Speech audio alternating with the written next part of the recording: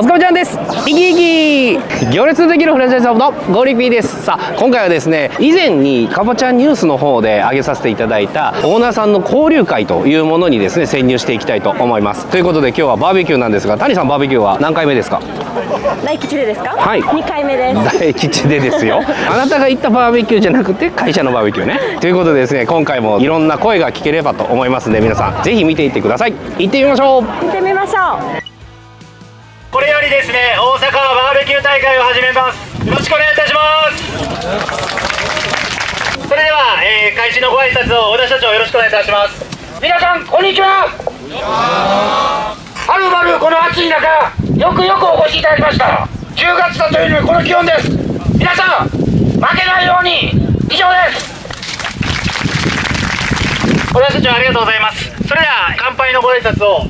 カーボールのますますの発展を願いまして乾杯！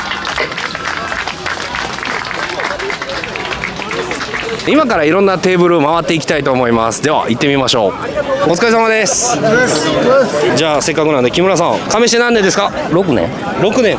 こういう交流会って結構来ます？来ますね。お何回目ぐらいですか？コロナ禍で抜けてる年はあったと思いますけどですね。僕3回目ちゃいますかねバーベキュー3回目か。こういう交流会って結構いいですか？いいですね。あどういうところが？パイオニアさん同士でお話できるとか、はい。で本部の方とお話できるとかっていう機会を設けてもらえるのがありがですねなるほど。ありがとうございます。ということで今日は皆さん楽しんでいってください。ありがとうございました、ちょうどいいところに。交流会何回目ですか？交流会2回目ですね。2回目、えー簡単に自己紹介お願いします。渡辺と申します。渡辺さん、はい。そう同じ名前なんですね。加盟して何年ですか？は今1年とちょっとですね。1年ちょっとで。こういう交流会って結構来ますか？来ますね。結構飲み会とかも行ったりとかしてできるだけ交流を深めていこうかなと思ってます。なるほど。ということですね、まあ、ぜひ今日は楽しんでいってください、はいありがとうございます次のテーブルに来ました。じゃあせっかくなんで西村さんに話を聞きたいと思います。簡単に自己紹介を。西村です。加盟は3年前です。加盟3年目の西村さんにじゃあ話聞きたいと思います。ちなみにこういう交流会とかって何回目ぐらいですか？バーベキューは2回目です。バーベキューは2回目。それ以外は？それ以外は飲み会も年に1回ぐらいあるんじゃないですかね。それはチームの飲み会ですかあねそうですね。チームの飲み会って何人ぐらい来るんですか？20人から30人ぐらいですかね。じゃあ結構大きい規模ですね、はい。で毎度そういう交流会があれば参加すると。そうですね。こういう交流会のメリットって何ですかね？普段話せないようなみんなが何してるかっていうのを僕らどうしても一人なんで何をしてるかっていう状況ですねを聞けるというか意見交換ですよね。なるほど。じゃあまあこういう交流会結構大事ですかね？そうですね。そうだと思います。西村さんありがとうございます。あありがとうございました。営業不要売上保証のお掃除フランチャイズ大吉カバールの加盟オーナー大募集中です。興味のある方は概要欄から来てください次のテーブル行ってみたいと思います。じゃあ野沢さん簡単に自己紹介お願いします。北大阪地区本部の信沢です。加入ちょうど7あ6年になりました。丸6年。丸6年、はい。ありがとうございます。6年間でこういう交流会って結構来てますか？実は今日初めてです。そうなんですね。あのバーベキューはね。なるほどなるほど。逆にこう初めて来ようと思ったきっかけって何だったんですか？前神戸エリアで須磨の方が会場だったんで、家が川西なんでめっちゃ遠いんですよ。なるほどで仕事も入ってたのもあって行ってなかったですね。あー。こういう交流会ってやっぱあった方がいいですか？そうですね。楽しいですね。ありがとうございます。どういうところが楽しいですかね？普段接点があんまりないんでこういうところで先輩の方とお話しすると結構参考になったりするんで勉強になります。ありがとうございます。ということで信沢さんからお話をいただきました。じゃあ尾崎さんにお話聞きたいと思います。簡単に自己紹介お願いします。尾崎健です。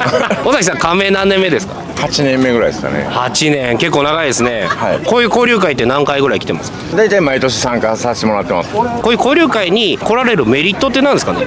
普段やっぱり一人で仕事してるんでちょっと寂しく感じるとこあるじゃないですか。ほんでこういうとこ来るとみんなやっぱこう仲間といろんなこう仕事の会話できたりとかメリット多いですよね。ありがとうございます。今後もこういう交流会があればどんどん参加するということでよかったです。もちろんですね。ありがとうございます。ということではい尾崎さんからお話をお聞きしました。じゃあ久保さん今加盟何年目ぐらいですか？20年です。これはなかなかのベテランさんですね。こういう交流会ってまあ20年あると結構な数やっぱ出られてるんですかね？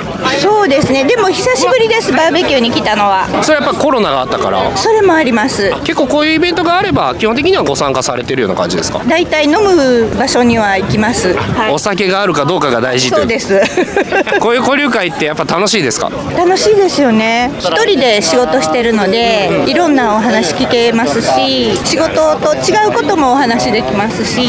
普段こうお一人で仕事されてる方が多いので人と話せる場がいいなということで。ね。大事ですよね交流の場って。あ大事だと思います。ありがとうございます。ということで久保さんからお話いただきました